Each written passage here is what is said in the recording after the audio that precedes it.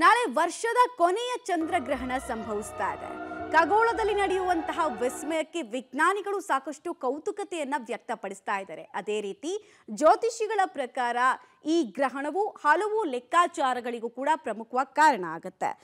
ಶನಿವಾರ ಹಾಗೂ ಭಾನುವಾರ ಎರಡೂ ದಿನ ಕೂಡ ಗ್ರಹಣದ ಚಾಗೆ ಇರುತ್ತೆ ಅನ್ನೋ ಮಾಹಿತಿ ಇದೆ. ಆಗಸದಲ್ಲಿ ಖಗೋಳ ವಿಸ್ಮಯಕ್ಕೆ ಸಾಕ್ಷಿ ಆಗ್ತಾ ಇದ್ದಾರೆ ಎಲ್ಲರೂ ಇತ್ತೀಚೆಗಷ್ಟೇ ಸೂರ್ಯಗ್ರಹಣ ಆಗಿತ್ತು, ನಾಳೆ ಚಂದ್ರಗ್ರಹಣದ ವಿಸ್ಮಯ ನಡೆಯಲಿದೆ.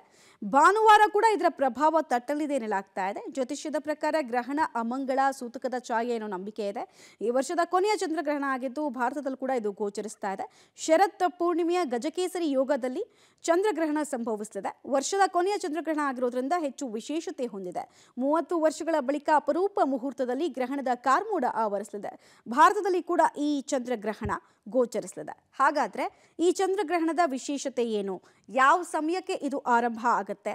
ಗ್ರಹಣದ ಮೋಕ್ಷ ಕಾಲದ ಸಂಪೂರ್ಣ ಮಾಹಿತಿಯನ್ನು ಕೂಡ ನಾವು ಕೊಡ್ತಾ ಹೋಗ್ತೀವಿ. ಒಂದು, ಗ್ರಹಣ ಆರಂಭ ಆಗೋದು ಶನಿವಾರ ಮಧ್ಯರಾತ್ರಿ ಒಂದು ನಾಲ್ಕಕ್ಕೆ ಈ ಚಂದ್ರಗ್ರಹಣ ಶುರುವಾಗುತ್ತೆ. ಗ್ರಹಣದ ಅಂತ್ಯ ಮಧ್ಯರಾತ್ರಿ ಎರಡು ಇಪ್ಪತ್ನಾಲ್ಕಕ್ಕೆ ಅನ್ನೋದು ಗೊತ್ತಾಗ್ತಾ ಇದೆ. ಈ ಗ್ರಹಣದ ಗರಿಷ್ಠ ಕಾಲ ಅಂತ ಹೇಳ್ತೀವಲ್ಲ, ಅದು ಒಂದು ನಲವತ್ನಾಲ್ಕಕ್ಕೆ ಆಗ್ತಾ ಇದೆ. ಇನ್ನೊಂದು ಕಡೆಗೆ ಟೋಟಲ್ ಆಗಿ ಈ ಗ್ರಹಣ ಗೋಚರಿಸ್ತಾ ಇರೋದು ಒಂದು ಗಂಟೆ ಇಪ್ಪತ್ತು ನಿಮಿಷ ಅನ್ನೋ ಮಾಹಿತಿ ಇದೆ.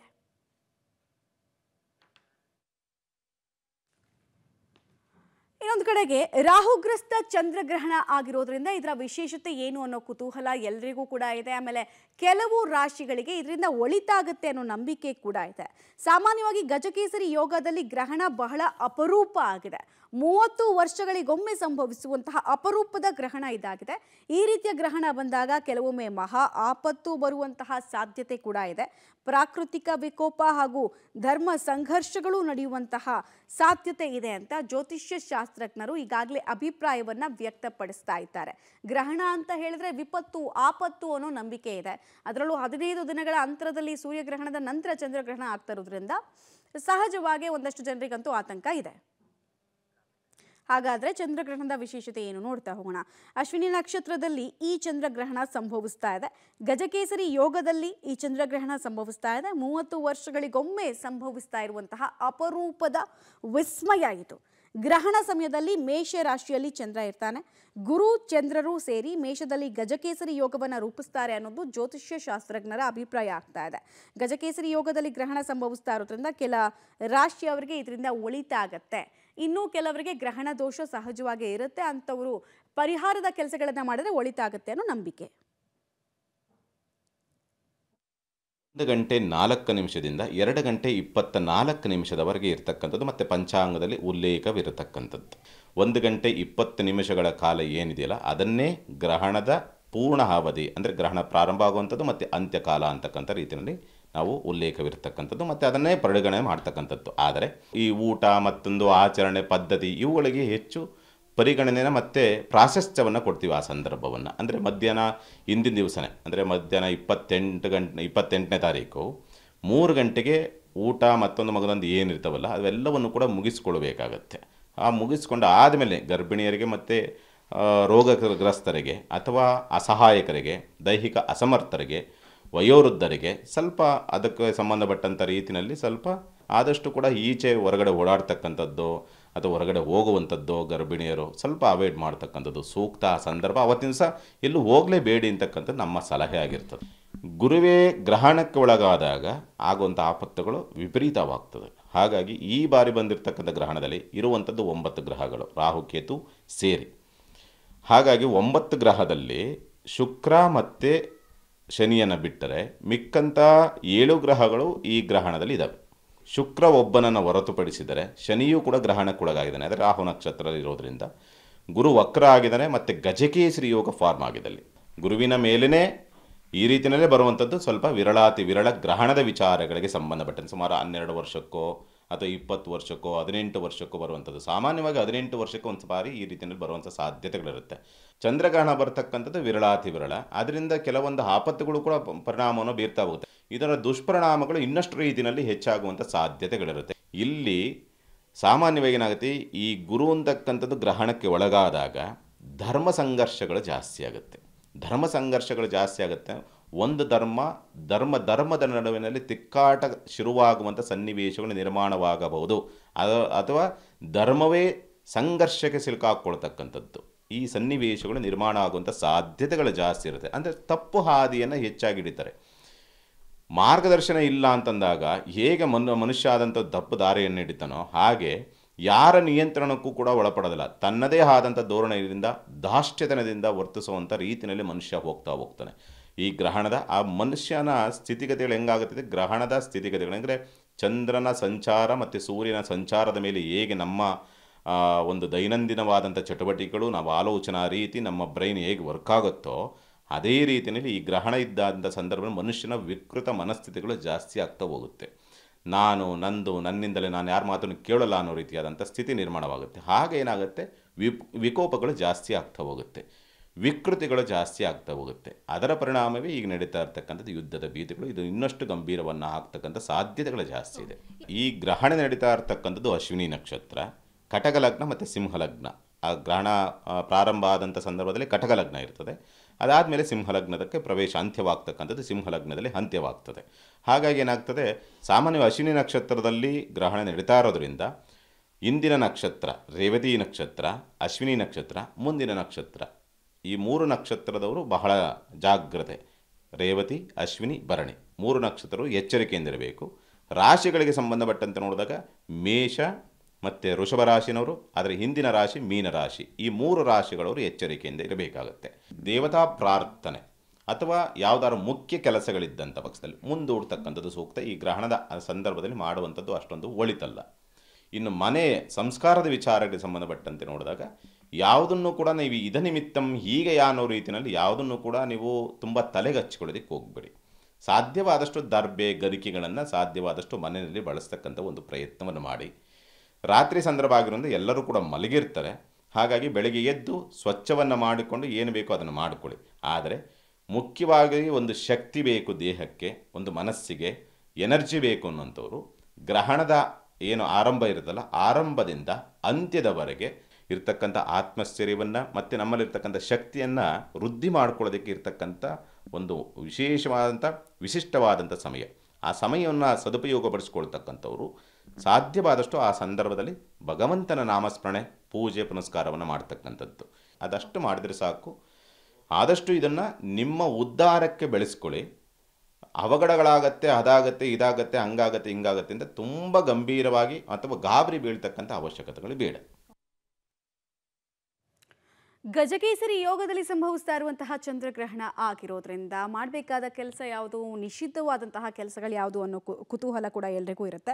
ಪುರಾಣದ ನಂಬಿಕೆಯ ಪ್ರಕಾರ ಹುಣ್ಣಿಮೆಯ ರಾತ್ರಿ ರಾಹು ಮತ್ತು ಕೇತು ಚಂದ್ರನನ್ನ ಆವರಿಸೋಕೆ ಪ್ರಯತ್ನ ಪಟ್ಟಾಗ ಚಂದ್ರನ ಮೇಲೆ ಗ್ರಹಣ ಸಂಭವಿಸುತ್ತೆ ಅನ್ನೋದು ಆಸ್ತಿಕ ವರ್ಗದ ನಂಬಿಕೆ. ಅದೇ ಸಮಯದಲ್ಲಿ ಸೂತಕದ ಅವಧಿ ಕೂಡ ಇರುತ್ತೆ ಅಂತ ಹೇಳಲಾಗ್ತಾ ಇದೆ. ಇನ್ನೊಂದು ಕಡೆಗೆ ಗ್ರಹಣದ ವೇಳೆ ಏನು ಮಾಡಬೇಕು ಅಂತ ಕೆಲವರೆಲ್ಲ ತಜ್ಞರು, ಅಂದರೆ ಜ್ಯೋತಿಷ ತಜ್ಞರು ಸಲಹೆ ಕೊಡ್ತಾ ಇದ್ದಾರೆ. ಏನಂತ ನೋಡ್ತಾ ಹೋಗೋದಾದ್ರೆ, ಗ್ರಹಣದ ಸೂತಕ ಕಾಲ ಸಂಜೆಯೇ ಆರಂಭ ಆಗುತ್ತೆ ಅನ್ನೋ ನಂಬಿಕೆ ಇದೆ. ಗ್ರಹಣದ ದಿನ ಸಂಜೆಯ ಬಳಿಕ ಆಹಾರ ಸೇವನೆ ನಿಲ್ಲಿಸಿದ್ರೆ ಉತ್ತಮ ಅನ್ನೋ ಸಲಹೆಯನ್ನು ಕೊಡ್ತಾ ಇದ್ದಾರೆ. ಗ್ರಹಣ ಸಮಯದಲ್ಲಿ ಮನೆಯಿಂದ ಹೊರಗೆ ಹೋಗೋದು ಕೂಡ ಅಷ್ಟು ಸೂಕ್ತ ಅಲ್ಲ ಅಂತ ಕೂಡ ಹೇಳ್ತಾ ಇದ್ದಾರೆ. ಗ್ರಹಣ ಸಮಯದಲ್ಲಿ ಅಡುಗೆ ಕೆಲಸಗಳನ್ನು ಮಾಡಬಾರ್ದು ಅಂತ ಕೂಡ ಹೇಳಿದ್ದಾರೆ. ಗರ್ಭಿಣಿಯರು ಮನೆಯಿಂದ ಹೊರಗೆ ಹೋಗಬಾರ್ದು. ಜೊತೆಗೆ ಗ್ರಹಣ ಕಾಲದಲ್ಲಿ ದೇವರಿಗೆ ದೀಪ ಹಚ್ಚಿ ಜಪಗಳಲ್ಲಿ ತಮ್ಮನ್ನ ತಾವು ತೊಡಗಿಸಿಕೊಳ್ಳಬೇಕು ಅಂತ ಕೂಡ ಹೇಳ್ತಾ ಇದ್ದಾರೆ. ಹಾಗೆ ಗ್ರಹಣ, ಮೋಕ್ಷ ಬಳಿಕ ಸ್ನಾನ ಮಾಡಿ ದೇವರ ದರ್ಶನ ಮಾಡಿದರೆ ದೋಷ ನಿವಾರಣೆ ಆಗುತ್ತೆ ಅನ್ನೋ ನಂಬಿಕೆ ಇದೆ. ಹಾಗೆ ಗ್ರಹಣ ನಂತರ ಮನೆ ಶುಚಿಗೊಳಿಸಿ ಗಂಗಾಜಲ ಪ್ರೋಕ್ಷಣೆಯನ್ನು ಮಾಡಿ ಅಂತ ಸಲಹೆಯನ್ನು ಕೂಡ ಆಸ್ತಿಕ ವರ್ಗಕ್ಕೆ ಕೊಡ್ತಾ ಇದ್ದಾರೆ. ಇಪ್ಪತ್ತೆಂಟು, ಹತ್ತು, ಎರಡು ಸಾವಿರದ ಇಪ್ಪತ್ತ್ಮೂರು ಶನಿವಾರ ದಿನ ಸಂಭವಿಸುವಂತಹ ರಾಹುಗ್ರಸ್ತ ಚಂದ್ರಗ್ರಹಣದ ವಿಚಾರವನ್ನು ಅರಿಯುವಂಥ ಸಮಯ. ಆ ದಿನ ಅಶ್ವಿನಿ ನಕ್ಷತ್ರ ಮೇಷರಾಶಿಯವರಿಗೆ ಈ ಗ್ರಹಣ ಪ್ರಭಾವಗಳು ಅಧಿಕ ಪ್ರಮಾಣದಲ್ಲಿ ಬಾಧಿಸುತ್ತೆ. ಅನೇಕ ಗ್ರಹಣಗಳನ್ನು ನಾವು ನೋಡಿದಾಗ ಈ ವರ್ಷದಲ್ಲಿ ಈ ವಿಶೇಷವಾಗಿರತಕ್ಕಂತಹ ಶೋಭಕರ್ನಾಮ ಸಂವತ್ಸರದಲ್ಲಿ ಬಂದಿರತಕ್ಕಂಥ ಏಕೈಕ ಗ್ರಹಣ ಅಂತ ಹೇಳಿದರೆ ಈ ಒಂದು ರಾಹುಗ್ರಸ್ತ ಚಂದ್ರಗ್ರಹಣ. ಇದು ನಮ್ಮ ಭಾರತಕ್ಕೆ ಕಾಣಿಸೋದರಿಂದ ನಾವೆಲ್ಲರೂ ಕೂಡ ಇದರ ಆಚರಣೆಯನ್ನು ಮಾಡಲೇಬೇಕಾಗತ್ತೆ. ಬಾಧಾಸ್ಥಾನದ ರಾಶಿಗಳ್ಯಾವುದು ಅನ್ನುವಂಥದ್ದನ್ನು ನೋಡಿದರೆ ಪ್ರಮುಖವಾಗಿ ಅಶ್ವಿನಿ ನಕ್ಷತ್ರ, ಮೇಷರಾಶಿ, ಅಶ್ವಿನಿ ಭರಣಿ ಕೃತಿಕ ಒಂದನೇ ಪಾದದವರು ಈ ಒಂದು ಗ್ರಹಣದ ಪ್ರಭಾವಕ್ಕೆ ಒಳಗಾಗುವುದರಿಂದ, ಹಾಗಿದ್ರೆ ಕರ್ಕಾಟಕ ರಾಶಿ, ಹಾಗೆ ವಿಶೇಷವಾಗಿರತಕ್ಕಂಥ ವೃಶ್ಚಿಕ ರಾಶಿ ಹಾಗೆಯೇ ಸಂಪೂರ್ಣವಾಗಿರತಕ್ಕಂಥ ವ್ಯಯಸ್ಥಾನ ಅಂದರೆ ಮೀನರಾಶಿಯವರು ಈ ಒಂದು ಗ್ರಹಣದ ಪ್ರಭಾವ ಇರುವುದರಿಂದ ಗ್ರಹಣ ಶಾಂತಿ ಕರ್ಮವನ್ನು ಮಾಡಿಕೊಳ್ತಕ್ಕಂಥದ್ದು ಬಹಳ ಮುಖ್ಯವಾಗಿರುತ್ತೆ. ಹಾಗಿದ್ದರೆ ಗ್ರಹಣ ಆರಂಭವಾಗುವಂಥ ಪೂರ್ವದಲ್ಲಿ ಸ್ನಾನಾದಿಗಳನ್ನು ಪೂರೈಸಿಕೊಂಡು ಜಪ ತಪ ಅನುಷ್ಠಾನಗಳಲ್ಲಿ ತೊಡಗುವಂಥದ್ದು ಬಹಳ ಪುಣ್ಯಪ್ರದವಾದಂಥ ವ್ಯವಸ್ಥೆಗಳು. ಹಾಗಿರುವಾಗ ಈ ಗ್ರಹಣ ಬಾಧಿತವಾಗುವಂತಹ ರಾಶಿಗಳು ಈ ಶ್ಲೋಕವನ್ನು ಬರೆದಿಟ್ಕೊಂಡಿರಬೇಕು. ಏನದು ಹಾಗಿದ್ರೆ ಅಂತ ಕೇಳಿದರೆ ಮಾಷಧಾನ್ಯ ಮಾಷ ಅಂದರೆ ವಿಶೇಷವಾಗಿರ್ತಕ್ಕಂತಹ ಉದ್ದು. ಹಾಗೆ ಅಕ್ಕಿ. ಚಂದ್ರನ ಪ್ರೀತ್ಯರ್ಥವಾಗಿರತಕ್ಕಂತಹ ಅಕ್ಕಿಯನ್ನು ಒಂದು ಕಡೆಯಲ್ಲಿ ರಾಶಿಯನ್ನಾಗಿ ಇಟ್ಟುಕೊಂಡು ಅಥವಾ ಒಂದು ಸ್ವಲ್ಪ ದಾನಿಗಳನ್ನು ಒಂದು ಕಡೆಯಲ್ಲಿ ಇಟ್ಟುಕೊಂಡು ಈ ಗ್ರಹಣ ಪೂರ್ವದಲ್ಲಿ ಸ್ನಾನವನ್ನು ಮಾಡಿಕೊಂಡು ಈ ಶ್ಲೋಕವನ್ನು ಹೇಳ್ತಾ ಬರಬೇಕು. ಯೋಸೌ ದಂಡದರೋ ದೇವ, ಯಮೋ ವೃಷಭ ವಾಹನ ಚಂದ್ರಗ್ರಹೋ ಪರಾಗೋತ್ತ ಗ್ರಹಪೀಡಾಂ ವ್ಯಪೋಹತು. ಯೋಸೌ ದಂಡದರೋ ದೇವ, ಹಾಗೆ ಯೋಸೌ ದಂಡದರೋ ದೇವ, ಆದಿತ್ಯಾನಾಂ ಪ್ರವರ್ಮತಃ, ಚಂದ್ರಗ್ರಹೋ ಪರಾಗೋತ್ತ ಗ್ರಹಪೀಡಾಂ ವ್ಯಪೋಹತು. ಯೋಸೌ ದಂಡದರೋ ದೈವ ಯಮೋ ಮಹಿಷ ವಾಹನ. ಚಂದ್ರಗ್ರಹೋ ಗ್ರಹ ಗ್ರಹಪೀಡಾಂ ವ್ಯಪೋಹತು. ಎನ್ನುವಂಥ ಈ ಶ್ಲೋಕವನ್ನು ತಪ್ಪದಂತೆ ಒಂದು ಹಾಳೆಯಲ್ಲಿ ಬರೆದಿಟ್ಕೊಳ್ಳಿ.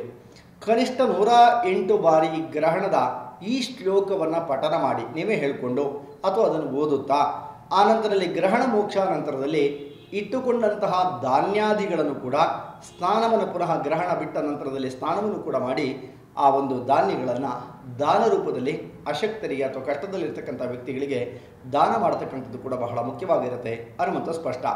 ಇದರ ಪರಿಣಾಮಗಳಿಂದ ಆಗಬಹುದಾದಂಥ ವ್ಯವಸ್ಥೆಗಳೇನು ಅನ್ನುವಂಥದ್ದನ್ನು ನಾವು ನೋಡೋಣ. ಹಾಗಿದ್ದರೆ ಚಂದ್ರಮ ಮನಸೋ ಜಾತಃ ಅನ್ನುವುದಾಗಿ ಹೇಳ್ತೇವೆ. ಚಂದ್ರ ಮನಸ್ಸಿನ ಮೇಲೆಯೇ ಪರಿಣಾಮವನ್ನು ಬೀರತಕ್ಕಂಥವನು, ಮನಃಕಾರಕನಾಗಿರತಕ್ಕಂಥವನು ಚಂದ್ರ. ಚಂದ್ರನ ಪ್ರಭಾವಗಳು ನಮ್ಮ ಮೇಲೆ ಬೀರುವುದರಿಂದ ಮನಸ್ಸು ವಿಚಲಿತಗೊಳ್ಳುತ್ತೆ. ಮಾಡುವಂಥ ಕಾರ್ಯದಲ್ಲಿ ವಿಘ್ನಗಳು ಬಾಧಿಸ್ತವೆ. ವಿಪರೀತವಾಗಿರತಕ್ಕಂಥ ಅಪಮೃತ್ಯು, ಅಪಘಾತದಂತಹ ಸಾಧ್ಯತೆಗಳು ಕೂಡ ಕಾಣಬಹುದು. ಇನ್ನು ರಾಜಕೀಯವಾಗಿ ಅಥವಾ ಬೇರೆ ಬೇರೆ ರೀತಿಯಾಗಿರ್ತಕ್ಕಂಥ ವ್ಯವಸ್ಥೆಗಳಲ್ಲಿ ಗ್ರಹಣದ ಪ್ರಭಾವವನ್ನು ನೋಡೋದಾದರೆ, ಎರಡು ಸಾವಿರದ ಇಪ್ಪತ್ತ ಮೂರು ಅಕ್ಟೋಬರ್ ತಿಂಗಳಲ್ಲಿ ನಾವಿದ್ದೇವೆ.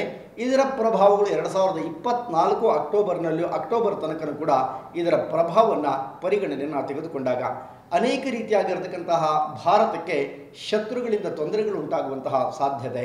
ಅಥವಾ ಬೇರೆ ಬೇರೆಯವರಿಂದ ಒಂದಿಷ್ಟು ಮಟ್ಟದ ಕುತಂತ್ರಗಳಿಗೆ ಬಲಿಯಾಗಬೇಕಾದಂತಹ ವ್ಯವಸ್ಥೆಗಳು, ಅಥವಾ ಇದ್ದಂತಹ ವ್ಯವಸ್ಥೆಗಳಲ್ಲಿ ಬದಲಾವಣೆಯ ಪರ್ವವನ್ನು ಕಾಣಬಹುದಾದಂತಹ ಲಕ್ಷಣಗಳು ಹೆಚ್ಚಾಗಿ ಕಾಣ್ತಾ ಇರೋದ್ರಿಂದ ರಾಜನ ಮೇಲೆ ಇದರ ಪರಿಣಾಮವನ್ನು ಹೆಚ್ಚಾಗಿ ಬೀರತಕ್ಕಂಥದ್ದು, ರಾಷ್ಟ್ರದ ಮೇಲೂ ಕೂಡ ಇದರ ಪರಿಣಾಮವನ್ನು ಬೀರುವುದರಿಂದ ವಿಶೇಷವಾಗಿರ್ತಕ್ಕಂಥ ಒಂದಿಷ್ಟು ಜಲ ಸಂಬಂಧಿತವಾದಂಥ ಕಂಟಕಗಳು ಚಂದ್ರನ ವಿಶೇಷವಾಗಿರ್ತಕ್ಕಂಥ ಚಂದ್ರನ ರಾಶಿಯನ್ನು ಅವಲೋಕನವನ್ನು ಮಾಡಿದಾಗ ಜಲರಾಶಿ ಸ್ಥಿತನಾಗಿರ್ತಕ್ಕಂಥ ಚಂದ್ರ ಮೇಘಗಳಿಂದ ಅಥವಾ ಮೋಡಗಳಿಂದ ಒಂದಿಷ್ಟು ಮಟ್ಟದ ವರ್ಷಪೂರಿತವಾದಂಥ ವ್ಯವಸ್ಥೆಗಳನ್ನು, ಅಲ್ಲೋಲ ಕಲ್ಲೋಲ ವ್ಯವಸ್ಥೆಗಳನ್ನು ಕೂಡ ನಾವು ನೋಡಬಹುದಾಗಿದೆ. ಅದರ ಪ್ರಭಾವದಿಂದ ರಾಹು ಯಾವತ್ತೂ ಕೂಡ ಉತ್ತಮವಾದಂಥ ಫಲವನ್ನು ಕೊಡಲಾರ. ಆದುದರಿಂದ ಅವನ ಪ್ರಭಾವವೂ ಕೂಡ ಇರುವುದರಿಂದ ಅನೇಕರಿಗೆ ಆರೋಗ್ಯದ ಮೇಲೆ ವ್ಯತ್ಯಾಸಗಳು, ಒಂದಿಷ್ಟು ಮಟ್ಟದ ಅಪಮಾನಕರವಾದಂಥ ವ್ಯವಸ್ಥೆ ಅಥವಾ ಇಲ್ಲ ಸಲ್ಲದಂಥ ವ್ಯಥೆ, ಕಾಡಬಹುದಾದಂಥ ವ್ಯವಸ್ಥೆಗಳು ಇರುವುದರಿಂದ ಗ್ರಹಣ ಪ್ರಾರಂಭವಾಗಿ, ಗ್ರಹಣ ಮೋಕ್ಷಾನಂತರದಲ್ಲಿ ಸ್ನಾನಾದಿಗಳನ್ನು ಮಾಡ್ತಕ್ಕಂಥದ್ದು ಬಹಳ ಮುಖ್ಯವಾಗಿದೆ. ಇನ್ನು ತೀರ್ಥಕ್ಷೇತ್ರ ಅಥವಾ ದೇವತಾ ಸನ್ನಿಧಾನ, ಅನ್ಯಕ್ಷೇತ್ರೇ ಕೃತಂ ಪಾಪಂ, ಪುಣ್ಯಕ್ಷೇತ್ರೇ ವಿನಶ್ಯತಿ ಅನ್ನುವುದಾಗಿ ಒಂದು ಮಾತಿದೆ. ಬೇರೆ ಬೇರೆ ರೀತಿಯಾಗಿರ್ತಕ್ಕಂಥ ಪಾಪಗಳನ್ನು ನಾವೆಲ್ಲರೂ ಕೂಡ ಸಂಗ್ರಹವನ್ನು ಮಾಡಿರ್ತೇವೆ.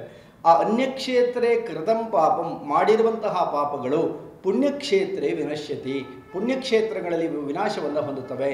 ಅಥವಾ ಪಾಪಗಳಿಂದ ನಾವು ಹೊರತಾಗ್ತೇವೆ. ಪಾಪಗಳು ನಮ್ಮನ್ನು ಬಿಡಲ್ಪಡುತ್ತೆ ಅಂತಕ್ಕಂತಹ ದೃಷ್ಟಿನಲ್ಲಿ ಹೇಳುವುದರಿಂದ ಈ ಒಂದು ನದಿಯ ತಟಾರಕದಲ್ಲಿರ್ಬೋದು ಅಥವಾ ನದಿಯಲ್ಲಿ ಸ್ನಾನವನ್ನು ಮಾಡಿ ಅಥವಾ ವಿಶೇಷವಾಗಿರತಕ್ಕಂಥ ಗಂಗಾ ಸ್ನಾನಾದಿಗಳನ್ನು ಕೂಡ ಮಾಡಿ ಈ ಒಂದು ಗ್ರಹಣ ಕಾಲದಲ್ಲಿ ನೀವು ಆ ಭಗವಂತನನ್ನು ಆರಾಧನೆ ಮಾಡೋದರಿಂದ ಭಗವಂತ ಸುಪ್ರೀತನಾಗ್ತಾನೆ.